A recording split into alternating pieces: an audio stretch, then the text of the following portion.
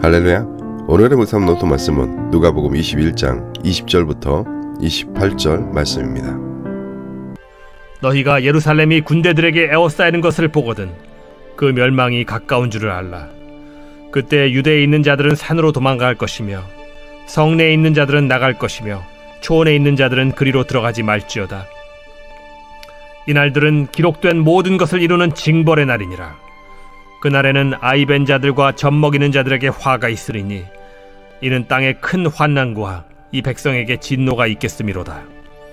그들이 칼날에 죽임을 당하며 모든 이방에 사로잡혀 가겠고 예루살렘은 이방인의 때가 차기까지 이방인들에게 밟히리라. 1월 성신에는 징조가 있겠고 땅에서는 민족들이 바다와 파도의 성난 소리로 인하여 혼란한 중에 곤고하리라. 사람들이 세상에 임할 일을 생각하고 무서워하므로 기절하리니 이는 하늘의 권능들이 흔들리겠습니다. 그때 사람들이 인자가 구름을 타고 능력과 큰 영광으로 오는 것을 보리라. 이런 일이 되기를 시작하거든. 일어나 머리를 들라.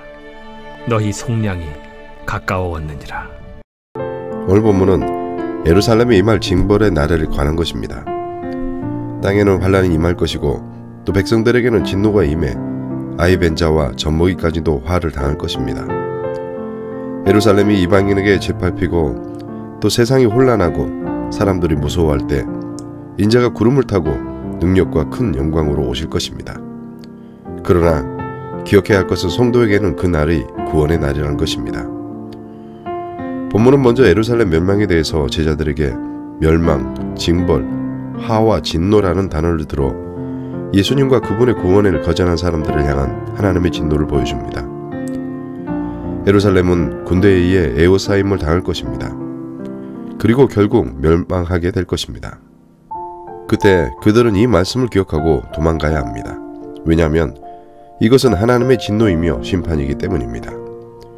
일반적으로 전쟁이 일어나면 보호를 받기 위해 성 안으로 모여듭니다. 그러나 이번에는 하나님의 심판 가운데 임한 것인기에 성 안에서는 어떤 보호도 받지 못하게 될 것입니다. 실제로 이 사건은 요세포스 기록 주 66년경 로마 정부로 인해 예루살렘이 포위를 당할 때 이 말씀을 기억하고 요단강 건너편 산지로 도망했던 자들이 목숨을 건졌다는 기록이 있습니다. 그날에 아이벤자와 젖먹이는 피신하기 어려운 자들을 이야기합니다. 그러나 이들 역시 도망하지 않으면 칼날에 죽임을 당할 것이고 모든 이방에 사로잡혀 갈 것입니다. 실제로 요세푸스 기록에도 전쟁으로 인해 9만 7천 명 이상이 포로로 잡혀갔고 또 100만 명 이상이 칼날로 죽임을 당했다고 기록되어 있습니다. 이제 거룩한 성 예루살렘은 이방인의 때가 차기까지 이방인들에게 밟힐 것입니다. 이것은 단순히 예루살렘 멸망을 이야기하는 것이 아니라 종말까지 하나님 백성에게 임하는 박해를 이야기하는 것입니다. 이처럼 하나님의 심판은 실제적입니다. 그렇게 성도는 항상 결국 이 땅에 임할 종말을 준비하는 자세로 살아가야 합니다. 기억하십시오. 예수님이 이와 같이 심판에 대해 언급하셨지만 이것을 기억하지 않고 자기 정욕대로 살아갔던 에루살렘은 결국 망하게 되었습니다. 그러나 중요한 것은 이러한 멸망을 이야기하시고 나서 재림을 이야기하신다는 것입니다. 재림은 여러 징조를 동반할 것입니다. 종말할 때 1월 성신과 또 하늘의 권능들이 흔들리며 우주적인 징조가 있을 것입니다. 이때 많은 사람들은 두려워할 것입니다. 이처럼 종말을 준비하지 못한 자들에겐 두려움이 날이지만 재림을 기다리는 자에게는 소망의 날입니다. 기억하십시오. 세상의 종말이 임할 그때, 그때가 바로 우리 주님이 다시 오시는 때입니다. 그렇게 성도에게는 그날은 두려움의 날, 공포의 날이 아니라 우리 주님이 구름 타고 능력과 큰 영광 중에 오실 영광의 날, 기쁨의 날인 것입니다. 다시 말해 재림의 날은 성도의 소망의 날입니다.